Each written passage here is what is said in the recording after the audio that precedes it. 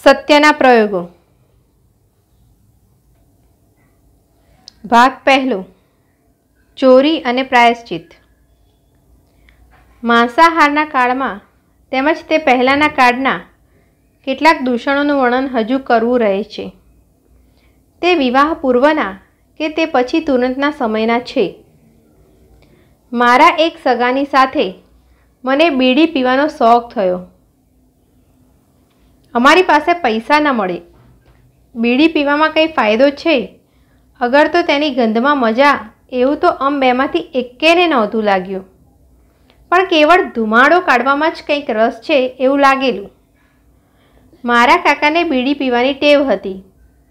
ને તેમને તથા બીજાને ધુમાડો કાઢતા જોઈ અમને પણ ફૂંકવાની ઈચ્છા થઈ. પૈસા તો ગાંઠે ન મળે એટલે કાકાની બીડીના ઠૂંટા ફેંકી દે તે ચોરવાનું અમે શરૂ કર્યું. પણ ઠૂઠા કંઈ હર વખતે મળી ન શકે. અમે તેમાંથી બહુ ધુમાડાય ન નીકળે. અને તેમાંથી બહુ ધુમાડાય ન નીકળે. એટલે ચાકરની ગાંઠે બે ચાર દોકડા હોય, તેમાંથી વચ્ચે વચ્ચે એકાદ ચોરવાની ટેવ પાડી. અને અમે બીડી ખરીદતા થયા. પણ એને સંગરવી ક્યાં એ સવાલ થઈ પડ્યો. વડીલોના દેખતા તો બીડી પીવાય જ નહીં, એ ખબર હતી. જેમ તેમ કરી બે ચાર દોકડા ચોરીને થોડા અઠવાડિયા ચલાવ્યું. દરમિયાન સાંભળ્યું કે એક જાતના છોડ, તેનું નામ ભૂલી ગયો છું. થાય છે, તેની રાડકી બીડીની જેમ સળગે છે, ને તે પી શકાય. અમે તે મેળવી ને ફૂંકતા થયા. પણ અમને સંતોષ ન થયો. અમારી પરાધીનતા અમને સાલવા લાગી. વડીલોની આજ્ઞા વિના કંઈ જ ન થાય એ દુઃખ થઈ પડ્યું. અમે કંટાળ્યા ને અમે તો આપઘાત કરવાનો નિશ્ચય કર્યો. પણ આપઘાત કઈ રીતે કરવું? ઝેર કોણ આપે? અમે સાંભળ્યું કે ધુતારાના ડોડવાના બીક, ધતુરાના ડોડવાના બી ખાઈએ તો મૃત્યુ નીપજે. અમે વગડામાં જઈ તે મેળવી આવ્યા. સંધ્યાનો સમય શોધ્યો. કેદારજીને મંદિરે દીપમાળામાં ઘી ચડાવ્યું.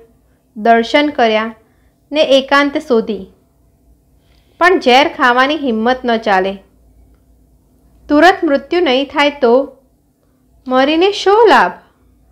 પરાધીનતા કાં ન ભોગવી છૂટવું? છતાં બે ચાર બી ખાધા. બીજા ખાવાની હિંમત જ ન ચાલી. બંને મોતથી ડર્યા. અને રામજીને મંદિર જઈ દર્શન કરી શાંત થઈ જવું ને આપઘાતની વાત ભૂલી જવી એવો ઠરાવ કર્યો. હું સમજ્યો કે આપઘાતનો વિચાર કરવો સહેલો છે. આપઘાત કરવો સહેલો નથી. આથી જ્યારે કોઈ આપઘાત કરવાની ધમકી આપે છે, ત્યારે તેની મારા ઉપર બહુ ઓછી અસર થાય છે અથવા મુદ્દત થતી જ નથી એમ કહું તો ચાલે. આ આપઘાતના વિચારનું પરિણામ એ આવ્યું કે અમે બંને એઠી બીડી ચોરીને પીવાની તેમજ નોકરના દોકડા ચોરવાની ને તેમાંથી બીડી લઈ ફૂંકવાની ટેવ ભૂલી જ ગયા. મોટપણે બીડી પીવાની ઈચ્છા જ મને કદી નથી થઈ. અને એ ટેવ જંગલી, ગંદી ને હાનિકારક છે એમ મેં સદાય માન્યું છે. બીડીનો આટલો જબરદસ્ત શોખ દુનિયામાં કેમ છે એ સમજવાની શક્તિ હું કદી મેળવી શક્યો નથી. જે આગગાડીના ડબ્બામાં ઘણી બીડી ફૂંકાતી હોય, ત્યાં બેસવું મને ભારે થઈ પડે છે. ને તેના ધુમાડાથી હું ગુંગળાઈ જાઉં છું. બીડીઓના ઠૂઠા ચોરવા ને તેને અંગે ચાકરના દોકડા ચોરવા, એ દોષના કરતાં બીજો એક ચોરીનો દોષ જે મારાથી થયો, તેને હું વધારે ગંભીર ગણું છું. બીડીનો દોષ થયો ત્યારે ઉંમર બાર તેર વર્ષની હશે. કદાચ તેથી એ ઓછી. બીજી ચોરી વેળાએ ઉંમર પંદર વર્ષની હશે.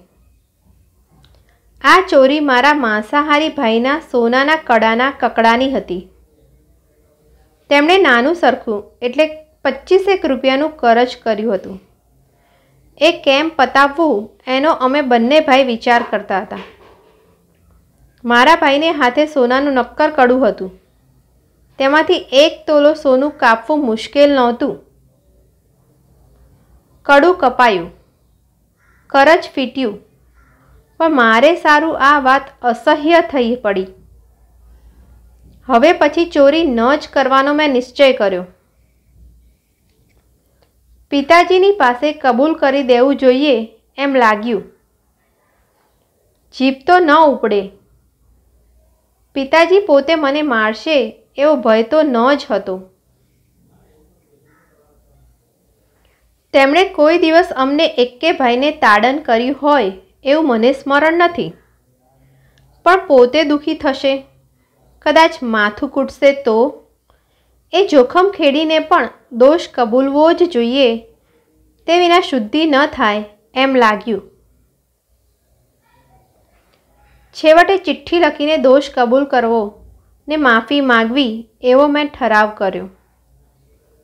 મેં ચિઠ્ઠી લખીને હાથો હાથ આપી. ચિઠ્ઠીમાં બધો દોષ કબૂલ કર્યો ને સજા માંગી. પોતે પોતાની ઉપર દુઃખ ન વહોરી લે એવી આજીજીપૂર્વક વિનંતી કરી ને ભવિષ્યમાં ફરી એવો દોષ ન કરવાની પ્રતિજ્ઞા કરી. મેં ધ્રુજતે હાથે આ ચિઠ્ઠી પિતાજીના હાથમાં મૂકી. હું તેમની પાટની સામે બેઠો. આ વેળા તેમને ભગંદરનું દરદ તો હતું જ. તેથી તેઓ ખાટલા વશ હતા. ખાટલાને બદલે લાકડાની પાટ વાપરતા. તેમણે ચિઠ્ઠી વાંચી. આંખમાંથી મોતીના બિંદુ ટપક્યા. ચિઠ્ઠી ભીંજાઈ.